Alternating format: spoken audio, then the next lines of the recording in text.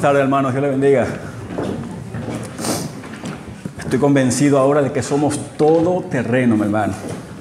Que estemos aquí en, mar, en medio de un mar tiempo, nieve, nieve, viento. Le damos gracias a Dios por hacernos latinos. Y sabemos que es Dios el que, el que, el que permite y el que pone el sentir en nuestros corazones. Así que Él sea la honra, la gloria por siempre. Vamos a elevar una oración antes de comenzar con la meditación de la palabra. Sé que Dios seguirá hablando en nuestras vidas, como siempre. Y vamos a poner este momento en las manos del Señor. Amado Dios, te damos gracias una vez más. Gracias, Dios querido, por concedernos el honor, el privilegio de adorarte, Señor, porque es un honor el adorar al único Dios verdadero. Gracias, Padre, porque te placiste de nosotros, te acordaste de nosotros, Señor amado, y nos diste vida cuando no teníamos. Ahora, mi Padre, nos has dado corazones agradecidos. Por eso que estamos aquí en esta tarde, reconociendo, Dios mío, que sin ti no somos nada. Que separados de ti nada podemos hacer, Señor. Por eso, mi Padre, te damos la honra y la gloria en esta tarde. Gracias porque tu sangre nos limpia de todo pecado. Gracias, mi Padre, porque podemos, Dios querido, unirnos en este lugar tan lejano a nuestras tierras, a nuestros países, Señor. Y que tú nos permitas, Dios querido, estar unidos, Dios adorado, en un solo sentir, en un solo propósito, Padre, para honrarte y glorificarte a ti, Señor. Señor, nos, no nos queda más que darte mil gracias, Señor. Gracias porque todo lo haces en tu tiempo y tu tiempo, es el perfecto, Padre. Ahora, Señor, vinimos hambrientos de tu palabra. Gracias porque eh, nos, permitiste, eh, nos permitiste que te adoremos, que te glorifiquemos, que te honremos. Ahora te pedimos, Señor, que nos alimentes hoy con tu palabra. Que mire nuestros corazones, cómo llegamos aquí en esta tarde. Te pido, Padre, que sea tu poderoso Espíritu Santo, porque Él es el único que puede hablar a nuestras vidas hoy. Cambiar, transformar, convencernos de pecado. Eres tú, Señor, el único que lo puedes hacer. Yo te pido, Padre, que hables nuestros corazones conforme a nuestras necesidades. Y que como lleguemos aquí, Señor amado, salgamos diferentes, mi Padre, renovados por ti, restaurados por ti y que salgamos con nueva fuerza de este lugar, Señor amado. Mira el que llegó sin fuerza, Señor, multiplícale su fuerza. Mira el que se siente caído, Señor, levántalo en el nombre de Jesús. Oh Padre adorado, glorifícate en esta tarde como solamente tú lo sabes hacer. Quite el hombre y ponte tú, mi Padre, porque queremos escuchar voz de Dios y no de hombre.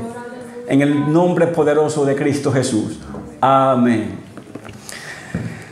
Agradecido estamos del Señor por siempre, mi hermano. Y hoy es como una segunda parte del mensaje del domingo pasado. Si alguno lo recuerda, estuvimos hablando sobre la queja. Y sabemos que, era un, es, que es un tema muy importante. Sabemos que Dios nos manda que en vez de quejarnos por los problemas, por las dificultades que como humanos llegaremos a atravesar algún día en nuestra vida, en vez de quejarnos, confiemos en Él. Porque Él tiene cuidado de nosotros, porque Él conoce nuestras necesidades, Él conoce de antemano, mi hermano, por dónde usted y yo vamos a tener que pasar y tiene la solución para todo. Así que ese fue el mensaje del domingo pasado, que en vez de quejarnos, confiemos en el Señor, porque Dios desde antes ya Dios tiene una solución a todo problema. Pero hoy vamos, mi hermano, a estar hablando sobre la murmuración y sus consecuencias. Le digo que es como una segunda parte del mensaje pasado porque la murmuración, mi, hermano, viene de corazones que se quejan. Una persona, mi hermano, que vive constantemente quejándose es una persona que va a estar murmurando de todo lo que vea y esto es algo que por alguna razón Dios quiere que lo tengamos hoy en día muy presente en nuestros corazones. El peligro de murmurar, las consecuencias que eso puede traer, mi hermano, ya sea en lo familiar, ya sea, mi hermano, en, relaciones de amistades, y no solamente en eso, en medio aún de la iglesia. Una murmuración puede destruir, mi hermano, hasta un matrimonio entero. Una murmuración puede destruir, mi hermano, relaciones de padres con, con, con sus hijos. Por eso es tan importante el saber sobre este tema en esta tarde. Y no solamente vamos a aprender sobre este tema, vamos a saber también cómo la actitud que usted y yo deberíamos tomar frente a la murmuración. Y no solamente eso, sino también cómo acabar con ella. Así que vamos a estar abriendo la poderosa palabra del Señor en el libro de Filipenses. Filipenses capítulo 2, versículo 12 al 16. Filipenses, Nuevo Testamento, capítulo 2, versículo 12 al versículo 16. Estaremos leyendo la poderosa palabra del Señor. Por tanto, amados míos, como siempre habéis obedecido, no como en mi presencia solamente, sino mucho más ahora en mi ausencia, ocupaos en vuestra salvación con temor y temblor. Porque Dios es el que en vosotros produce así el querer como el hacer, por su buena voluntad.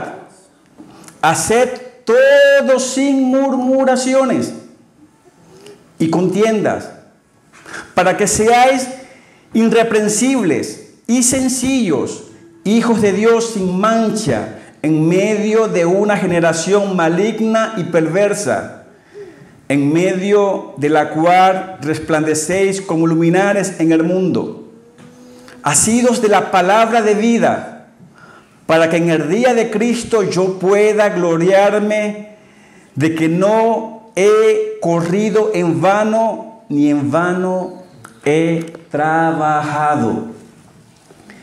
Mi hermano, esta es una carta muy poderosa, como todas las, como todas las cartas de la Biblia, como todos los libros de la Biblia, pero es una carta que es escrita por Pablo.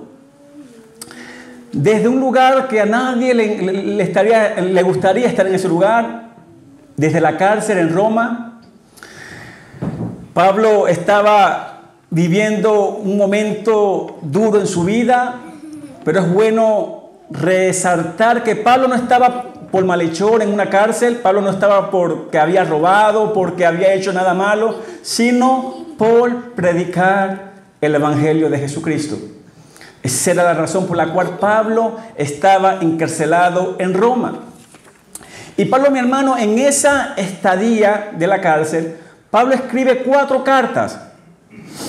Cuatro cartas, mi hermano, que son de un mensaje tan poderoso para nuestras vidas y Pablo se dirige y toca puntos tan importantes en cada, en cada una de esas cartas que son Filipenses, Colosenses, Efesios y Filemón. Fueron las cuatro cartas que Pablo escribe desde la cárcel. Y Pablo se dirige a, la iglesia de Filipos por, eh, por, ser tan especial para él, ya que fue una iglesia directamente fundada por Pablo si podemos tener la bendición de leer todo el libro de Filipenses, vamos a ver que Pablo conocía perfectamente a los miembros de la iglesia, que Pablo alaba y elogia la actitud de la iglesia. Pablo les recuerda y le dice a ellos que ellos son obedientes no solamente cuando Pablo los visitaba, sino que aún también en su ausencia era una iglesia que obedecía a la palabra de Dios. No eran, mi hermano, como, como, los, como los niños que cuando están papá y mamá en casa están derechitos, pero cuando no están hacen desastre. No, la iglesia de Filipo, cuando Pablo estaba, eran obedientes. Y aun cuando Pablo no estaba, también lo era. Esa es la razón por la cual Pablo alaba a la iglesia de Filipos, a los miembros de la iglesia. Pero Pablo está, mirando, dirigiéndose con un corazón pastoral en esta iglesia. El hombre, mi hermano, trabajado por Dios, el hombre pulido por Dios. No voy a tocar mucho sobre la vida de Pablo porque no es el tema, pero un hombre que había aprendido lo que Dios hace en, un corazón eh, dejado, en un corazón apartado de Dios. Pablo es testigo del cambio que Dios y solamente Dios puede producir en los corazones. Y Pablo, mi hermano, se dirige a esta iglesia para hablarle de estos puntos que son muy importantes y como pastor, como siervo de Dios, eh, amante a la, a, la, obra de Dios, amante a cada persona que ha creído en el Señor, Pablo ve la necesidad de hablarle de este punto a la iglesia de Filipo. Y Pablo, mi hermano, se Hermano, a decirle a los hermanos, le aconseja a los hermanos que nada, absolutamente nada hagan por murmuraciones. Que nada de lo que hagamos por el Señor, que nada de lo que hagamos en nuestra vida cotidiana, que nada de lo que hagamos como personas normales en nuestra vida las hagamos con murmuraciones. Y es interesante que Pablo dice el por qué. En el mismo capítulo Pablo nos, eh, le dice a la iglesia el por qué él quiere que la iglesia no esté haciendo o que, o que los miembros de la iglesia no estén haciendo nada, absolutamente nada en murmuraciones y mucho menos en contiendas, en pleitos. Si vamos a ver, mi hermano, la murmuración es un fruto de la carne. Y para definir mucho esta palabra, el fruto de la carne, mi hermano, el fruto de la carne es, mi hermano, la actitud que tiene la persona que no conoce a Dios, que no ha sido mordida por Dios, son actitudes que hay en nuestras vidas, que la vemos como normales, y lo dije el domingo pasado, por ver cosas, como, eh, por ver, mi hermano, eh, cosas normales en nuestras vidas, eso lo hace más peligroso en nuestra vida. Cuando, nosotros hacemos cosas que vemos que es normal, todo el mundo lo hace, yo veo que todo el mundo murmura, todo el mundo habla de cada quien, entonces yo también lo voy a hacer. Entonces cuando algo, mi hermano, lo vemos como normal, es muy peligroso. Así que Pablo, dirigido por el Espíritu Santo, Pablo le está advirtiendo a la iglesia de Filipo, cuidado no hagan nada murmurando, ni con contienda. Y en el verso 15, mi hermano, él le dice a la iglesia, ¿para qué? Para que seáis irreprensibles y sencillos, hijos de Dios, sin mancha, en medio de una generación maligna y perversa, en medio de la cual resplandecéis como luminares en el mundo. Pablo le está diciendo el por qué. Ahora, mi hermano, ¿qué es la murmuración? En nuestros países nosotros lo conocemos como chisme. Murmuración es igual a chisme, mi hermano. ¿Y qué es, mi hermano, esto, mi hermano? La murmuración, mi hermano, es la capacidad humana o la actividad humana que consiste en hablar de alguien de una forma desfavorable sin que la persona esté presente. Y eso, mi hermano, es totalmente cierto. Usted no, va a hablar de alguien con, eh, estando esa persona allí enfrente de usted. Por eso es el peligro, mi hermano, de la murmuración, del chisme. Y vuelvo y repito, en nuestra vida cotidiana, mi hermano, podemos nosotros estar todos los días cayendo en esto. Si yo hiciera una pregunta en esta tarde, ¿quién no ha murmurado o quién no ha hablado mal de alguien en este mes que estamos comenzando? O en 15 días. o en una semana. ¿Quién no se ha atrevido a estar hablando mal de alguien? Hoy, mi hermano, yo creo que se nos haría difícil decir, no lo he hecho. Es por eso, mi hermano, el peligro de esto. Y ya voy a explicarle el por qué, mi hermano. La palabra, mi hermano, murmuración tiene muchos sinónimos. Habladuría, depende, claro, por supuesto, de los países. En Venezuela es chisme, una persona chismosa. Comadreo, rumor.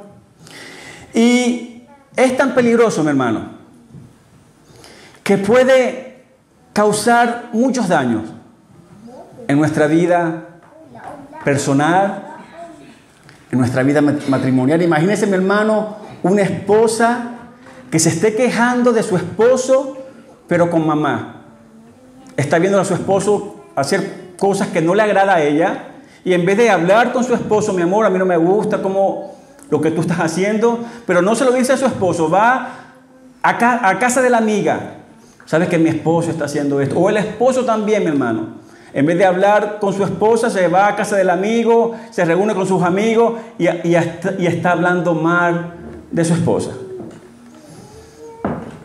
¿Cuánto, ¿Cuántas veces no hemos estado nosotros, mi hermano, presentes en conversaciones que estamos hablando de un tema y viene, viene cualquiera persona o X persona a estar hablando mal de otra persona y por supuesto jamás en su presencia. Y eso es lo que lo hace más peligroso, mi hermano. Cuando murmuramos a espalda de alguien, cuando hablamos mal de, de alguien. Y como lo dije al principio, eso no solamente es en nuestra vida cotidiana, eso pasa, mi hermano, y, no es solamente, no es que, no, no, al cristiano eso, eso nunca sucede en la iglesia. Yo conozco a Cristo, yo todos los días oro, alabo al Señor, y yo, yo no soy chismoso, mi hermano. Eso puede estar pasando aún en nuestros corazones. Aún yo viniendo aquí, en esta tarde, hablándole a ustedes, yo puedo estar, mi hermano, haber murmurado con mi esposa sobre alguien. Y eso es lo que lo hace peligroso. El murmurar, mi hermano, trae división, el murmurar, mi hermano, eh, rompe relaciones de amistades quizás de muchos años. Y, y muchas veces la persona dañina viene con la excusa de decirte, por cuanto tú eres mi amigo, yo te aprecio y te amo, tú sabes lo que dijeron de ti. Y usted, mi hermano, como que eso está en nosotros, como que eso está como que esa comezón de oír, ok, dime, dime qué es lo que hicieron. O qué, lo, o qué es lo que dijeron de mí, de mis hijos, de mi esposa, de de cualquiera. Eso pasa muchas veces, mi hermano. Y siempre es con esa razón. Tú eres mi amigo del alma, yo no puedo permitir que hablen eso de ti. Hablaron eso de ti porque no detuviste a la persona que estaba hablando mal de tu amigo a tiempo. ¿Por qué escuchaste? Ah, pero si vas a meter después la otra puya al amigo. Y esas cosas no solamente pasan en la gente que no conoce a Dios, pasa también en medio de la iglesia. Y le voy a traer, mi hermano, ejemplos de estas cosas y lo peligroso que es esto, mi hermano. Lo peligroso, la consecuencia que esto trae, porque la, murmuración es un, pecado que Dios, mi hermano, eh, trata con mucha severidad. La murmuración es un pecado que Dios, mi hermano, rechaza y castiga fuertemente, mi hermano. Es por eso que yo le pido a Dios que abra nuestros corazones en esta tarde, para que nosotros podamos entender la gravedad de estar murmurando, chismeando sobre una persona. Muchas veces, mi hermano, la persona que murmura es una persona que está amargada. Como no es feliz ella, yo no quiero ver a mi amigo o, al matrimonio de mi amiga feliz. Y yo voy a encargarme de meter cizaña en el corazón de mi amiga para que tenga problema con, con su esposo. O como, o por ejemplo, podemos ver, mi hermano, una iglesia que está creciendo, una iglesia que está tratando de cada día buscar y agradar al Señor, y viene el enemigo a tratar de, de traer división en una iglesia. ¿Quién se cree ese pastor? ¿Él es mejor que yo? ¿O los hermanos que cantan se creen que tienen las mejores voces? Mi hermano, eso es muy cotidiano en nuestras vidas. Y esa es la razón por la cual Dios quiere que entendamos y que paremos a tiempo sobre esto, mi hermano. Mi hermano, la murmuración es tan dañina, mi hermano, que contagia. Si usted no tiene en su vida dominio propio de, cortar a tiempo lo que le vengan a traer, mi hermano, usted va a caer también en murmurar. Si usted es la persona que diga, a mí no me digas, por favor, no me digas nada.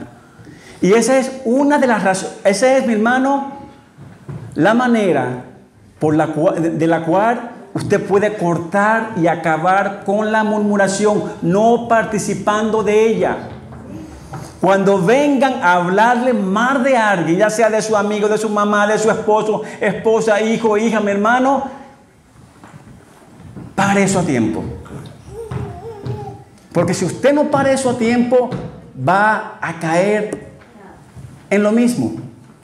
Y si están murmurando de otro, algún día van a murmurar, esa misma persona va a murmurar de usted mismo. Porque eso es así, mi hermano. Hubo, mi hermano, hay ejemplos grandes en la palabra. voy a mencionar solamente algunos porque hoy tenemos la Santa Cena, no quiero alargarme hoy, pero voy a ser muy claro en lo que voy a hablar. De personas que utilizaron como excusa el celo hacia Dios para murmurar de hombres que Dios había puesto al servicio de Él. Y eso, es, y eso es muy común también. Se usa el nombre de Dios como excusa para murmurar de alguien. Y le voy a hablar, mi hermano, sobre el caso que aparece en Números capítulo 12. Y esto es muy interesante porque la persona que está murmurando de José, de, de Moisés, perdón, no es un extraño, son sus propios hermanos, María y Aarón. ¿Qué me quiere decir esto, mi hermano? Que también mi familia puede murmurar de nosotros mismos. Y vamos a ver, hermano, qué pasó allí y cuál fue la reacción de un hombre que conoce a Dios y cómo actuó Moisés en medio de esta murmuración.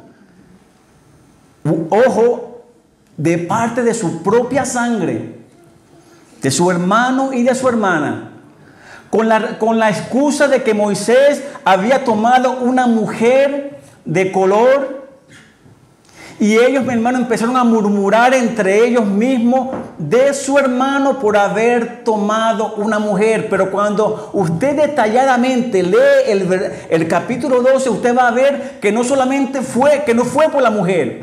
La mujer fue la excusa para ellos murmurar de su hermano. Fue por el celo que tenían por Moisés, por su ministerio.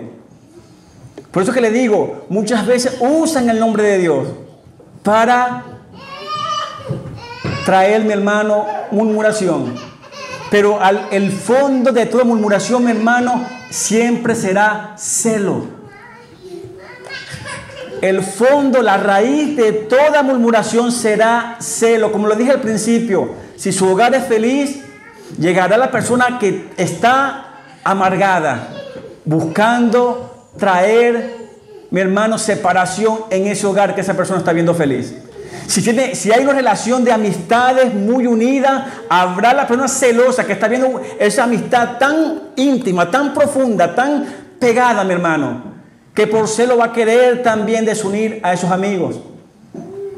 Así que esto pasó con María y Moisés. Aarón pero nos, damos cuenta que fue María la que, la que comenzó a hablar con Aarón y Aarón no paró eso, Aarón siguió escuchando a su hermana María. Y me llama la atención algo que es muy interesante. Moisés no sabía nada de lo que sus hermanos estaban a espaldas de él hablando, pero había alguien que sí lo sabía, Dios. Dios sabía que estaban murmurando acerca de Moisés. Y hay algo, mi hermano, que está aquí muy poderoso y una enseñanza muy poderosa para nuestras vidas. Cuando murmuren de nosotros, cuando alguien se atreva a levantarse y a hablar cosas falsas de nosotros, ya sea por celo, por envidia, no tome usted venganza por su propia fuerza. No tome usted, mi hermano, eh, no trate usted de solucionar, de solucionar el problema. Moisés, mi hermano, tenía derecho de reaccionar duramente contra sus dos hermanos. Como que no, mi hermano, le estaban hablando a sus espaldas. Su hermana que después de haber pasado el mar rojo estaba alabando a Dios. Aarón que, que, Dios había escogido para el sacerdocio en Israel. Su hermano que estaba allí con ellos. Empezaron ellos a estar hablando mal de él. Utilizando de excusa que había tomado una mujer de color. Pero era por el celo que le tenían a Moisés. Mi hermano, y vemos como Dios que está atento a todo, Dios está atento a todo. Por eso que le digo, mi hermano, cualquiera que se levante contra usted a hablar mal de usted, si usted sabe muy bien que, usted está, mi hermano, viviendo rectamente ante los ojos de Dios, no se dé mala vida escuchando lo que estén hablando a espaldas de usted.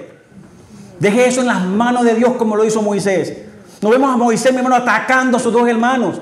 Dios viene, mi hermano, directamente, le habla a Moisés. Dios, eh, Moisés se entera de esto. ¿Qué hace Dios, mi hermano, contra su hermana María? La castiga de lepra.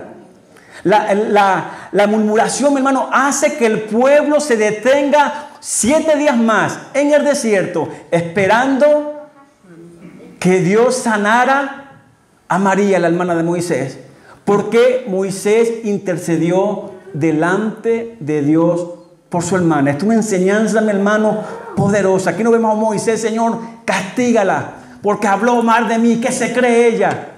Señor, perdónala. Aquí vemos a Moisés diciéndole a, todo el pueblo, vámonos y dejémosle a ella atrás. Vamos a esperarla.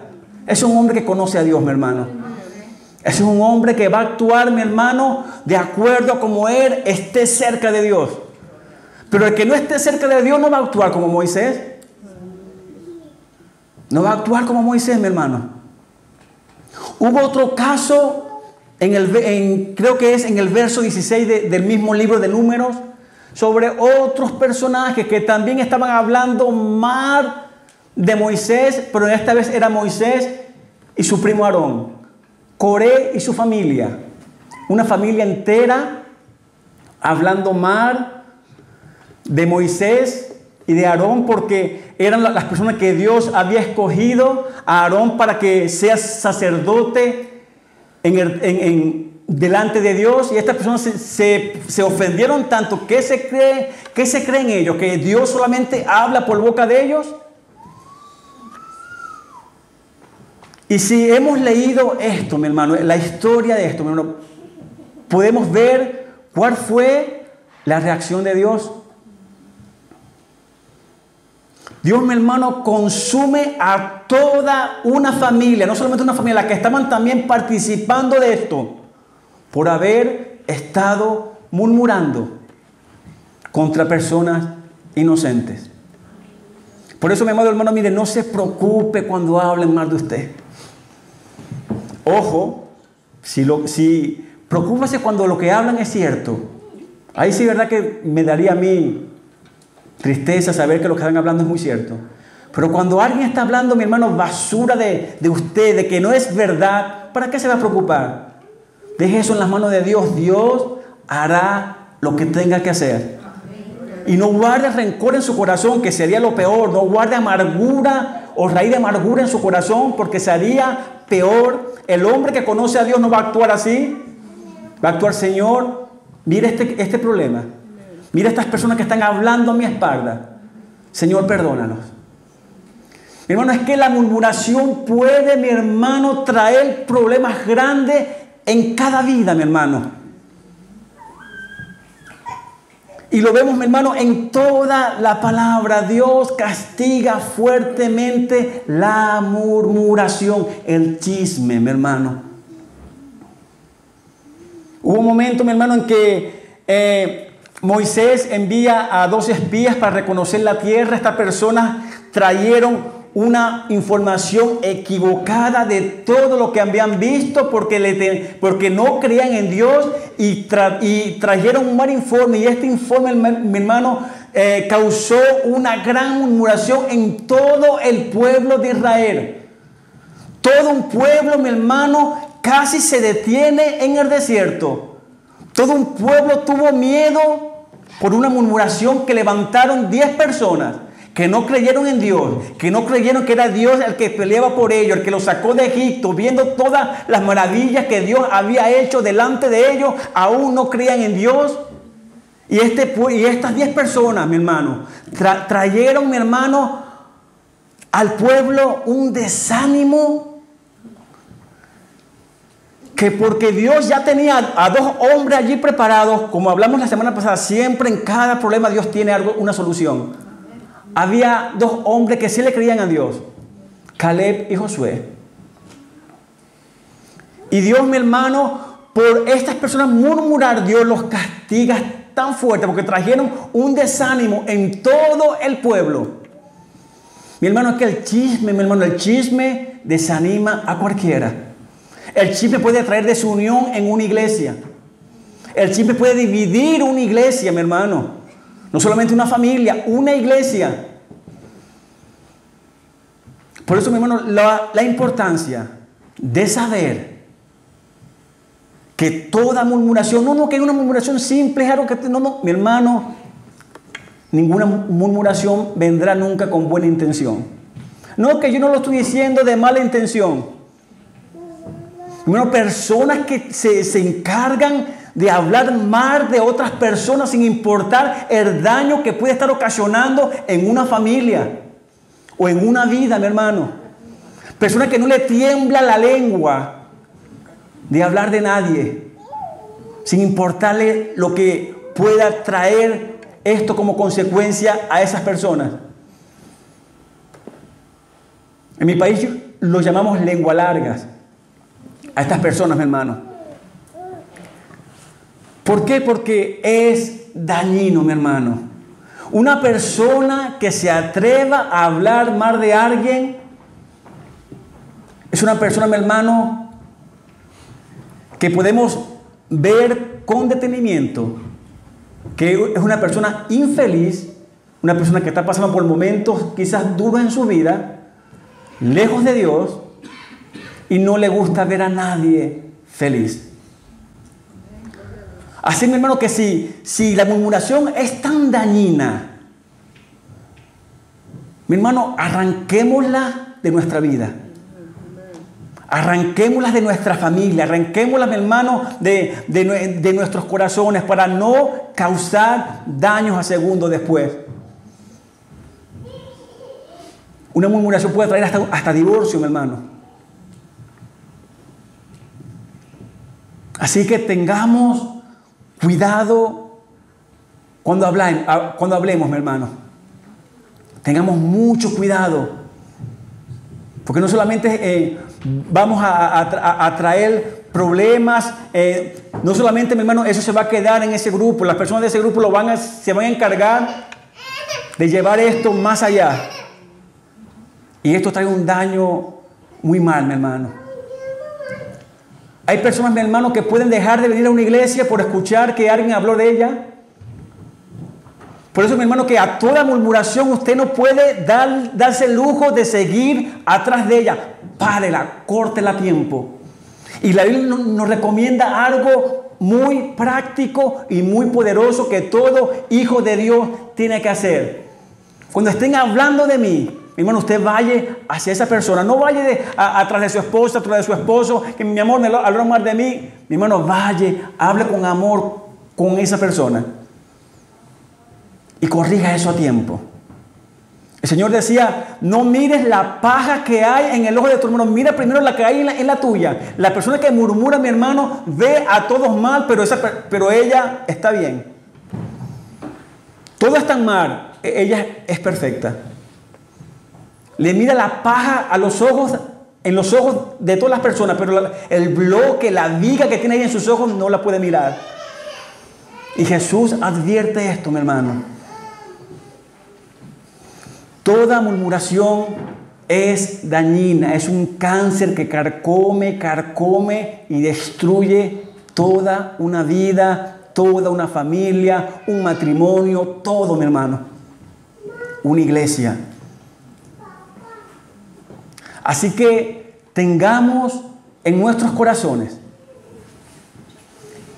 mi hermano, el temor de Dios para cuando alguien venga a susurrarle, mire que me dijeron esto de ti, mi hermano no escuche. Pero lo que pasa es que muchas veces como que nos pica el oído y dime, ¿qué dijeron de mí? Y caemos, mi hermano, en lo mismo.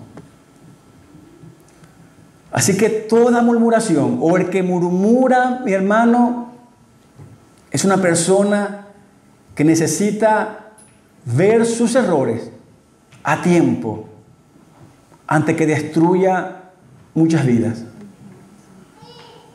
Por eso que si en medio de nosotros, mi hermanos, hay un, un corazón murmurador que le gusta hablar de todo el mundo, que le gusta dañar vidas, mi hermano, mi hermano, que en esta tarde usted le pida perdón al Señor.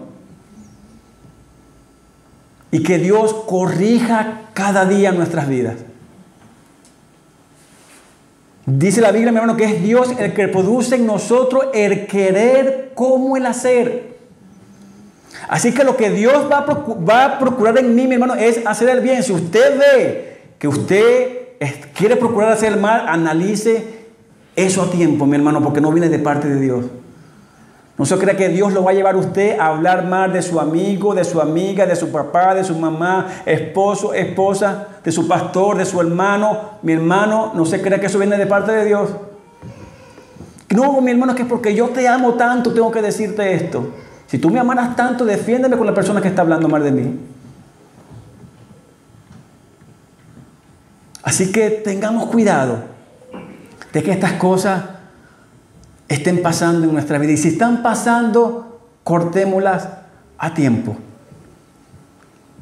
Para no después estar sufriendo las consecuencias en nuestras vidas.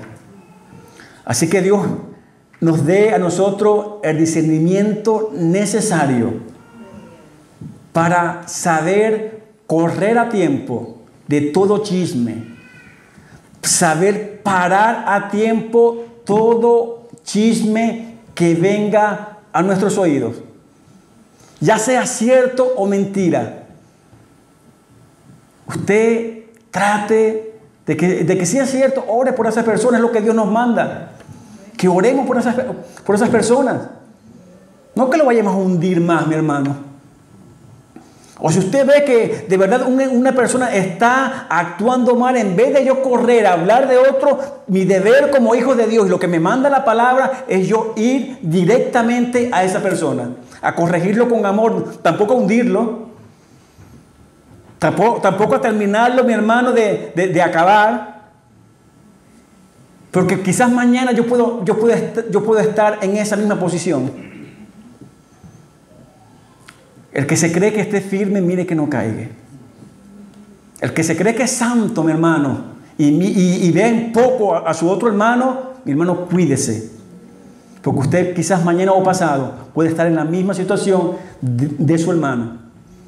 Más bien tenga ese amor, mi hermano, que le está pasando, mi hermano, animarlo, corregirlo, mi hermano. Así como, como, como Pablo le, escribe esta carta con el propósito de animar a la iglesia, de, de, animarlo a que perseveren, a que sigan adelante, que en medio de las, de las circunstancias difíciles que estaba pasando la iglesia, siguen adelante perseverando en el Señor.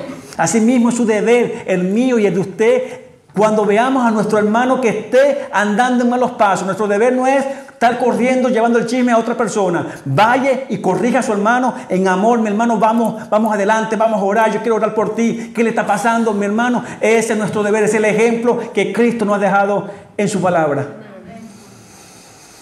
Así que no seamos, mi hermano, oidores olvidadizos. Porque muchas veces escuchamos, mi hermano, y no sale por un oído, y no entra por un oído y no sale por el otro. Vivamos, mi hermano, lo, que está escrito aquí. Así que cortemos a tiempo sobre este cáncer, mi hermano, que puede estar ahorita en nuestras vidas, que es la murmuración. Tenga miedo de estar hablando de otras personas. Cuidado que usted después puede estar cayendo en lo mismo después. Dios nos ayude, mi hermano, a refrenar nuestra lengua. Bien decía Santiago que la lengua, mi hermano, enciende un bosque entero. Tengamos temor de Dios y amor por nuestros hermanos. Para que ese amor que Dios pone en nosotros, que solamente Dios lo puede hacer, para ir, mi hermano, a corregir a nuestro hermano, a darle ánimo a nuestro hermano, mi hermano, adelante. Quizás usted ha pasado por esa prueba que ese hermano está pasando ahora. Tiene más, mi hermano, eh, más, eh, más derecho por usted decir, mi hermano, yo pasé por lo mismo. Y Dios me restauró, Dios me ayudó, Dios estuvo a mi lado. Muchas veces, mi hermano, esa persona necesita palabras de aliento y cuando vienen, mi hermano, las murmuraciones, el chisme, mira que me ¿sabes qué me dijeron esto de ti? Mi hermano, ¿cree usted que esa persona se va a sentir bien? La terminamos matándola, mi hermano.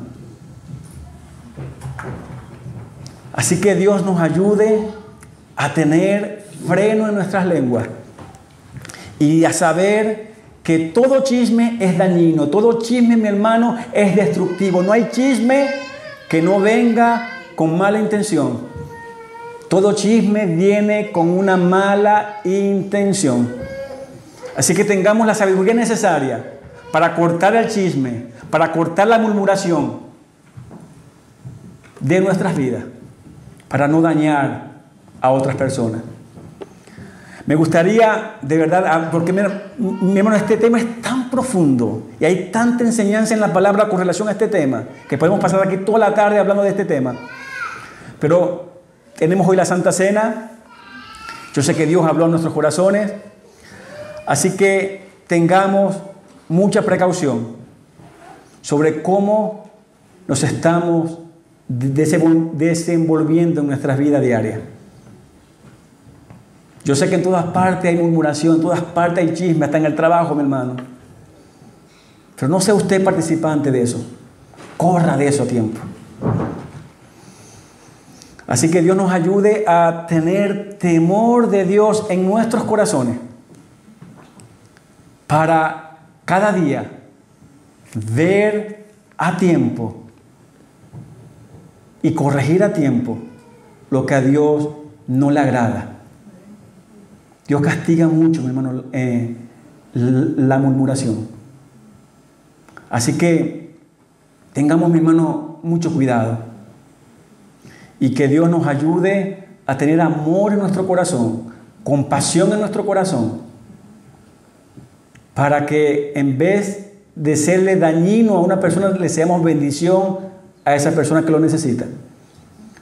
Y Dios llene nuestros corazones, mi hermano, de amor para que podamos entender el dolor ajeno. Muchas veces somos tan fríos que no entendemos el dolor ajeno, mi hermano. Así que Dios nos ayude a que cada día nosotros podamos ver y sentir como Dios quiere que sintamos. Misericordia, compasión por aquella persona que de verdad está pasando por momentos duros en su vida. Y no, y no lo vayamos a hundir, mi hermano, con chisme o con, murmuración, hablando de él a su espalda. Que qué fácil es hablar de alguien a su espalda. Eso, es eso es lo que lo hace más peligroso. Porque nadie tiene el valor de hablarle a la cara a esa persona. Pero qué fácil es hablarle a sus espaldas. Dios nos ayude que no estemos hablando a espaldas de nadie. Dios nos ayude, mi hermano, que no estemos dañándole la vida a nadie por nuestra boca. Y si le hemos hecho, eh, busquemos el perdón de Dios, que Dios no tardará en perdonarnos. Humillémonos ante los ojos del Señor y, y pidámosle al Señor si hemos dañado a alguien con nuestra boca, si hemos dañado familia, amistades, mi hermano, por no pensar en lo, en lo que decimos. Pidámosle perdón al Señor. Y después corra hacia esa persona y pídale perdón. Así que el Señor nos ayude a tener esto muy presente en nuestros corazones, porque es algo muy destructivo, mi hermano. Toda murmuración, todo chisme, toda habladuría es destructiva. Así que yo creo que este tema viene, viene justo hoy con la Santa Cena. Porque no podemos tener un corazón, mi hermano, que esté hablando mal de mi hermano y venir a participar de la Santa Cena.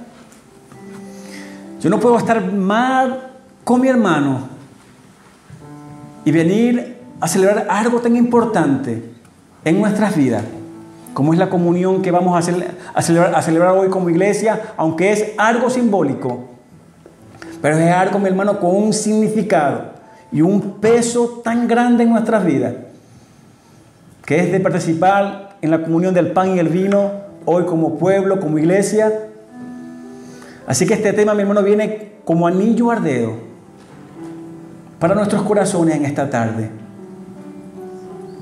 Para saber que yo no puedo estar mal con mi hermano. Para saber que yo, si tengo amor de Dios en mi corazón, si de verdad Dios es el que reina en mi corazón, yo no puedo estar dañándole la vida a nadie con mis palabras destruyendo una vida con mis palabras. Hoy, mis hermanos, vamos a celebrar la Santa Cena. Quiero que pasemos directamente a esto. La Santa Cena, mi hermano, es una bendición tan grande en que nosotros podamos como pueblo, como iglesia, el ser partícipes de esto. Y es que el Señor cuando estaba con sus discípulos.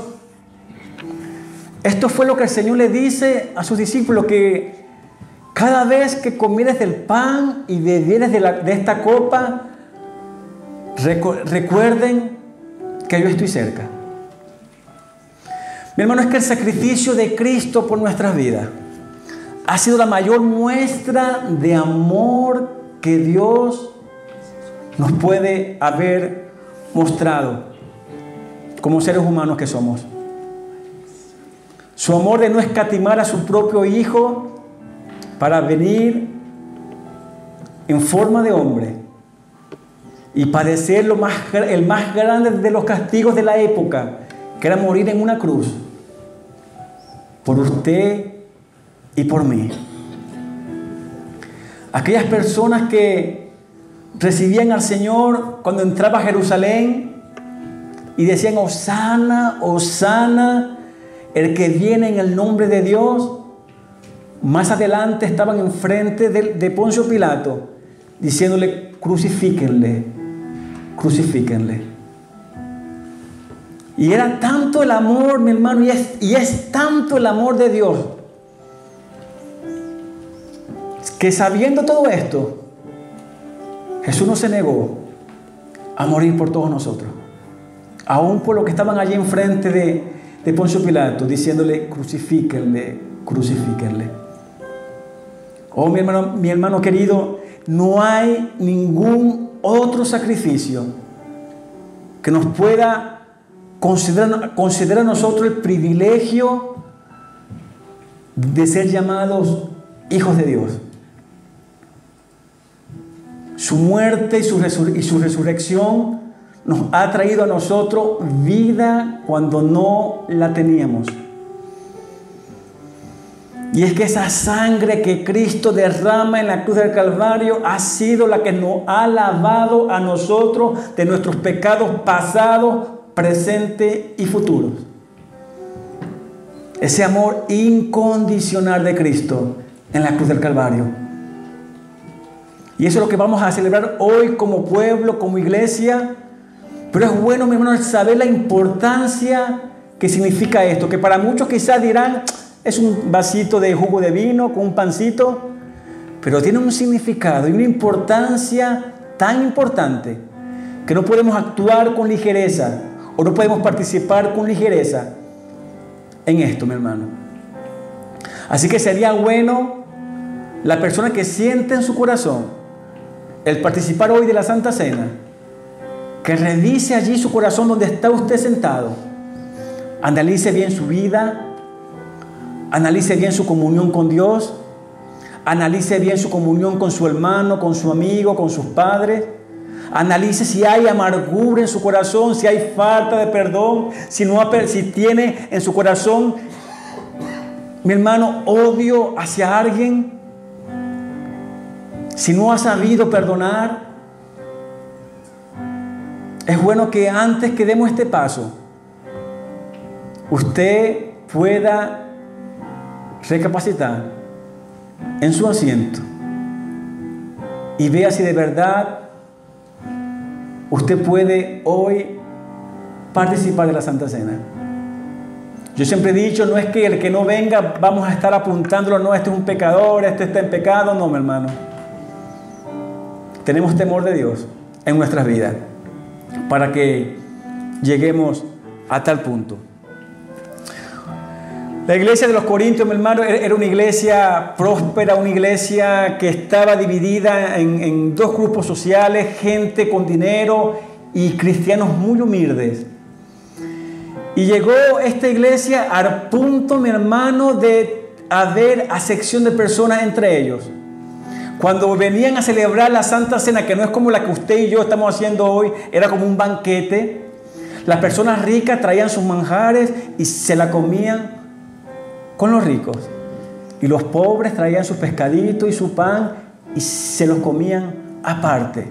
Y esta división le causó tanto dolor a Dios que Dios usa a Pablo para corregir a tiempo a esta iglesia. Siendo una iglesia que, tenía, que era llena de dones espirituales, mi hermano, pero con fallas,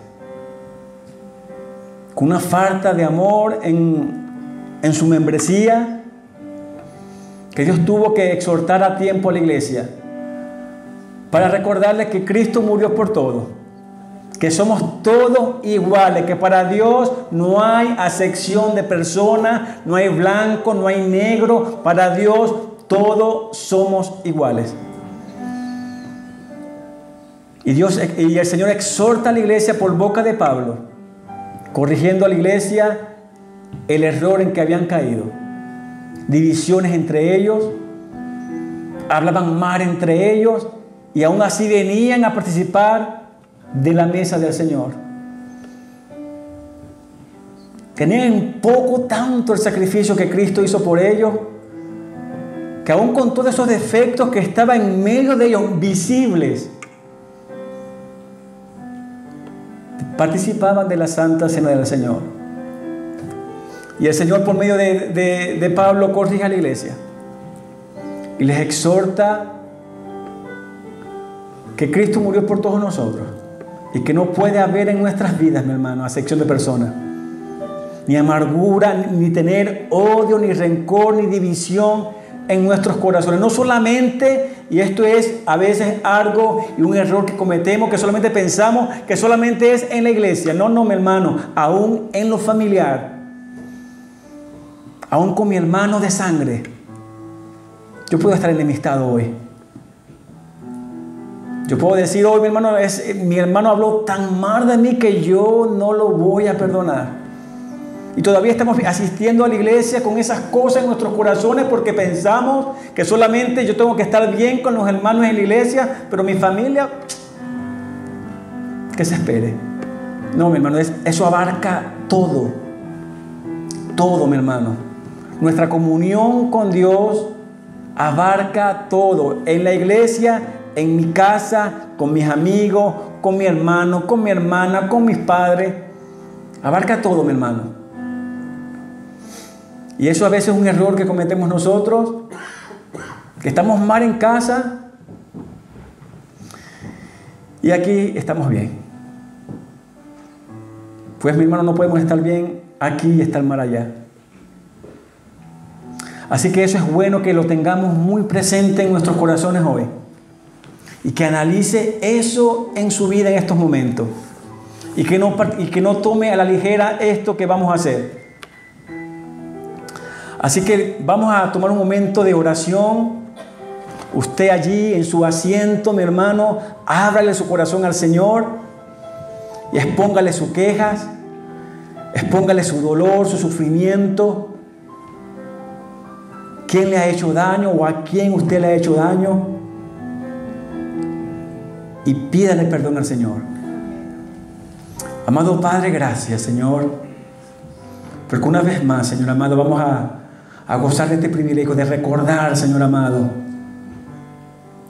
tu gran amor. No es que necesitemos, Señor amado, una vez al mes recordar esto, Padre. Señor, lo recordamos todos los días de nuestra vida. Tu amor, tu sacrificio por nosotros. Señor, mira nuestros corazones que hoy traemos a ti, Señor amado. Nos rendimos delante de ti, Padre. Porque solamente de ti podemos recibir el perdón por nuestros pecados. Oh Señor, mira mi conducta, Padre. Quizás no es la que, la que tú quieres que sea. Y tú me has hecho ver hoy, Señor amado, que tengo que, corregir mi vida. Oh poderoso Espíritu Santo, trabaja en cada corazón en esta tarde. Y ayúdanos a ver nuestros pecados, nuestras fallas, nuestros errores. A quién hemos lastimado, con quién estamos mal, a quién no hemos perdonado. Que quizás, Señor, tenemos tanta amargura de hace años en nuestras vidas por alguien que nos hizo daño y todavía no hemos sabido perdonar. Y llevamos esta carga en nuestros corazones que, Señor, que no nos dejan entregarnos a ti completamente. Señor, que no me deja, Señor amado, darte todo mi corazón. Porque quizás no he visto esto como algo que tengo que atender a tiempo, mi Padre. Señor, perdónanos si hemos pecado contra ti. Señor, perdónanos cuando, muchas veces tenemos en poco el amor que tú has tenido para con nosotros. Ese sacrificio en la cruz del Calvario. Gracias por no bajarte de la cruz.